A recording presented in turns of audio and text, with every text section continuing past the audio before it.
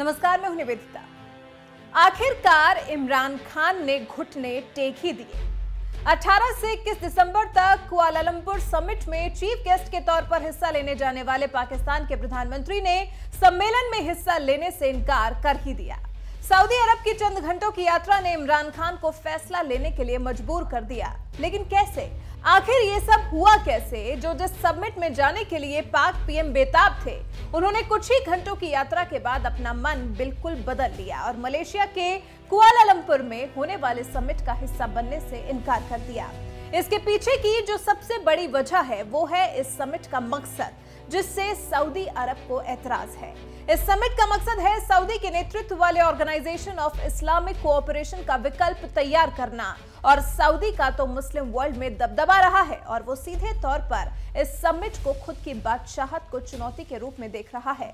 तो फिर भला सऊदी अरब इस समिट में पाकिस्तान के जाने से नाराज़ क्यों नहीं होता? तो पाक पीएम पहुँचे सऊदी अरब और बना दिया इमरान खान पर दबाव और फिर इमरान खान ने सऊदी अरब से रिश्ते न बिगाड़ने के मकसद से बड़ा फैसला लिया और मलेशिया के समिट में शामिल होने से इनकार कर दिया। दरअसल अभी हाल ही में मलेशिया के पीएम महातिर मोहम्मद ने एक बयान दिया था, जिसमें उन्होंने कहा था कुआलालंपुर समिट से मुस्लिम देशों का नया युग शुरू होगा। ये संगठन ओआईसी की जगह लेगा, जो मुस्लिम देशों के हित साधने में पूरी तरह विफल रहा है, जो कि सीधे तौर पर सऊदी अरब को चुनौती थी। क्योंकि ओआईसी सऊदी अरब की ही देखरेख में काम करता है।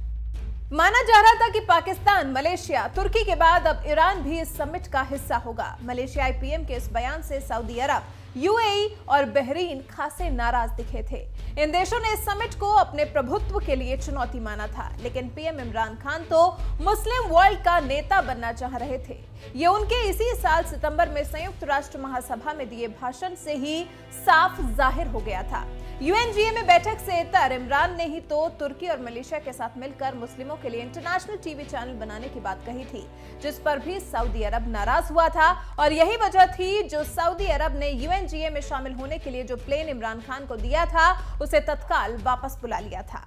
अब मुस्लिम वर्ल्ड का बॉस बनने की ललक जब इमरान खान पर इस कदर सवार थी, ऐसे में उनको पता चले कि सऊदी अरब नाराज़ है तो वो पहुँच गए रियाद, जहाँ सऊदी प्रिंस ने उन्हें साफ़ कर दिया कि वो कुआलालंपुर समिट में इमरान खान के हिस्सा लेने और उनके चीफ गेस्ट बनने से खुश नहीं है।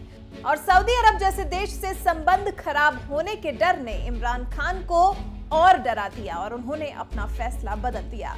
इमरान खान के विशेष सलाहकार फिरदौस आशिक अबान ने कहा, प्रधानमंत्री ने कुआलालंपुर समिट में न जाने का फैसला राष्ट्रीय हितों को ध्यान में रखते हुए लिया है। बता दें कि मलेशिया के कुआलालंपुर में 18 दिसंबर से 21 दिसंबर तक एक समिट का आयोजन किया जाना है, जिसे मुस्लिम वर्ल्ड में एक नए पावर सेंटर को बनाने की कोशिश के तौर पर देखा जा रहा है। समिट में पाकिस्तान के अलावा तुर्की, कतर और ईरान के नेता भी हिस्सा लेने वाले थे। इसमें बावन देशों के 450 नेताओं, स्कॉलरों, मौलानाओं और विचारकों के भी हिस्सा लेने की उम्मीद है।